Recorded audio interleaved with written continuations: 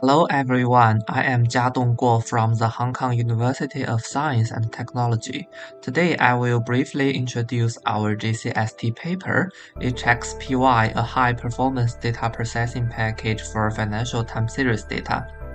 For the background, nowadays a lot of exchanges like the Shanghai Stock Exchange and the London Metal Exchange serve a crucial role in the global economy.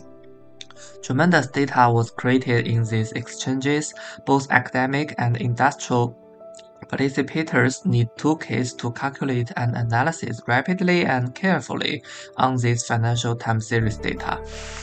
This paper proposed HXPY, a C++ package with a Python interface that could interact with the popular Python Pandas library we used a lot of techniques to optimize the calculation of time series data, including SIMD, memory layout and alignment, streaming algorithm, multi-threading, and CUDA. This page shows the design of our HXPY package. We keep a clear hierarchical structure and modular design, which make it easier for users to define custom operators and functions. Instead of showing contents in the paper, here I demonstrate our advantage with a short video.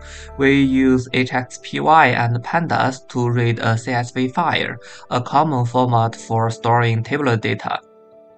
We can see that even if we start the pandas first, the HXPY instantly finish the parsing while the pandas take multiple times to conduct. So I.O. is only one small part of our accelerated functions. For more details, please read our paper and contact the authors.